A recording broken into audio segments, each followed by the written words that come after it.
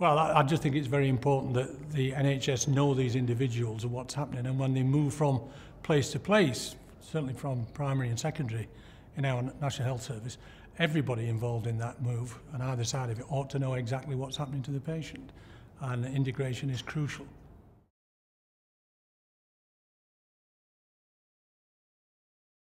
I, I think it's knowing what journey they're on and where they're likely to end up, and sometimes that's not in a good place. I mean, 30 years ago, everybody had very negative views about cancer. Once you got cancer, everybody thought that inevitably that was it. Well, we're living with cancer for many, many, many years now, and I think that uh, still knowing the journey and where it's likely to end up is important for everybody concerned, both the patient and their uh, family as well.